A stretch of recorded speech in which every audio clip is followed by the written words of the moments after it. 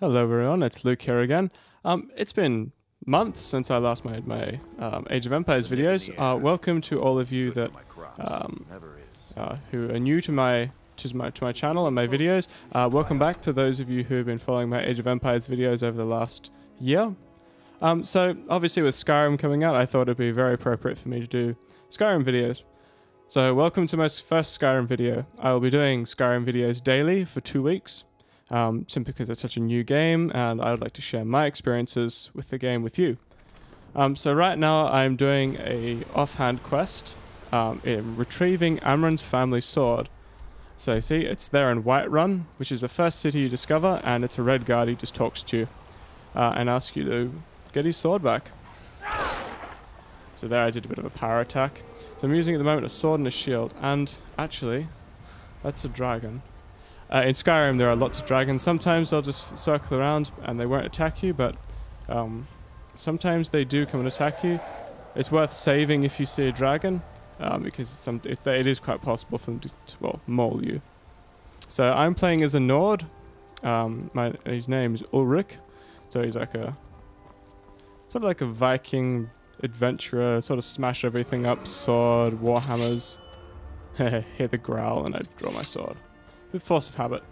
Uh, so as you can see, the landscape in Skyrim is just awesome.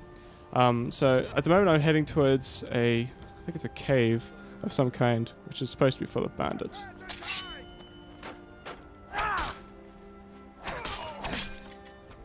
So he got smashed because he's a bandit. Um, so obviously, don't pick up everything you see on bodies. You know, you have a little look through them. Definitely always pick up the coin unless you don't like picking up money. Uh, White River Watch. So it's just like a, a bandit camp pretty much.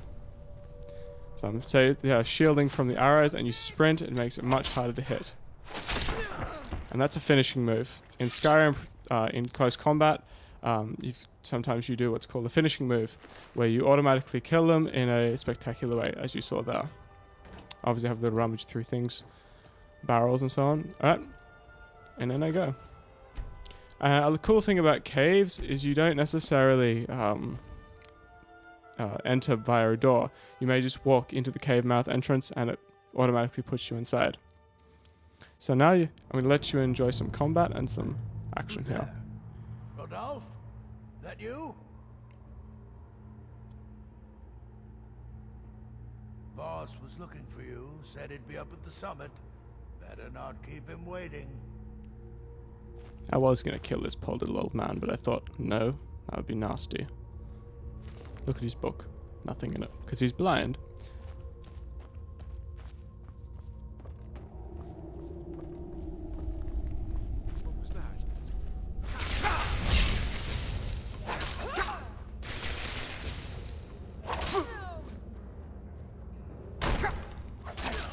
You see here, I'm fighting on a bridgeway. It means they can only attack me one at a time.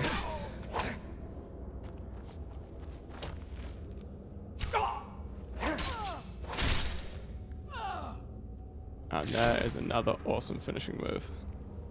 Finishing moves, I think, add a, a whole other dimension to close combat.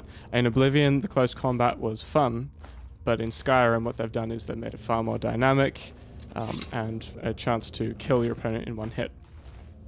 So now I'm going to switch to my Warhammer, my Dwarven Warhammer. So I, am only level 8.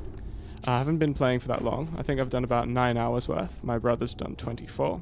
Um, but this um, this Warhammer is one hit kill on most things, depending on what difficulty you play on. Um, it may be worth for uh, if you're a beginner, go into game settings and change it to apprentice. It means it's a little bit easier to kill things, uh, and you don't get mauled by everything. So I'm being shot at right now, so I'm gonna go and clobber his head. Like the and also there's blood on the weapons that.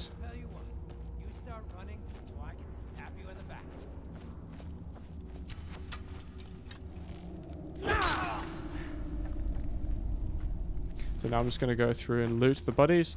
Uh, it may be worth um, also, after a combat with a few people, don't try looting every single body um, all at once, you know, by, you know, as you kill them, uh, because it's real time, so you could be clobbered by somebody when you're checking a body, which is realistic. And someone's got a wolf in there, I'm not sure why. It's probably a pet. I was going to let it out, but I don't have any lockpicks.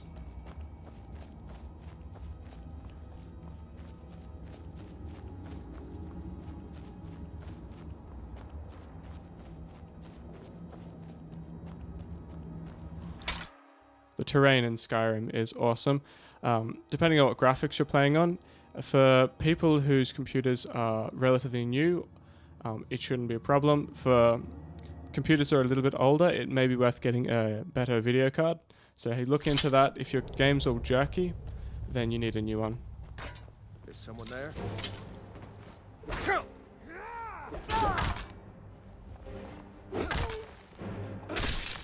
That was another finishing move. And so as you can see, the Warhammer is very, very deadly weapon. Hey, steel for the first time. Now another thing, you don't get over encumbered like you did in Oblivion. Now for those of you who don't know what over encumbered means, it means you're carrying too much and you can't move. Whereas in Skyrim, if you carry too much, you can't run or quick travel. Which pretty much means that um, you need to drop stuff so you're underneath your um, carrying limit. For me, I can carry 300 worth of whatever, whatever everything weighs altogether. And there's the chest. And there's the family sword. So grab everything else first, then the sword. Excellent. And there it is. Okay, and now it's um, time to return to Whiterun. And uh, he's think he promised you um, to train you in something for free. So we go back into Whiterun and collect the reward. But yeah, this is just my first video. Um, little little introduction, letting everyone know what I'll be doing in the future. Also, just a bit of combat. Um, tomorrow's video, I will probably be doing some, um, probably some more combat, but I'll do a bit of magic as well. Talk a bit about that, maybe a bit of shooting, uh, as in archery. Um, so here we are. The map is different map, obviously, than in, in Oblivion. It's three dimensional, so you can see the mountain ranges, and it's a lot better. So having a little look around, I forgot where he was. I think he's up here. Yes. So he's up. He's up around here.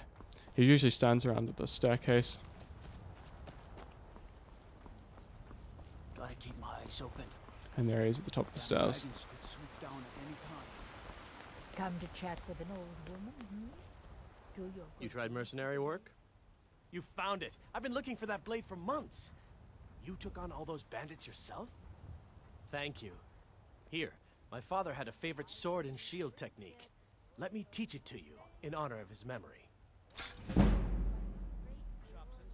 So yeah, one-handed increased and block increased. That's excellent. It is. It's very quick. That took me seven minutes to do. Um, so obviously it's, you know, f especially seeing as most of us, well, some of us, are a lower level um, because it's so new. It's worth doing. Um, yeah. Anyway, thank you for watching, and if you enjoyed this.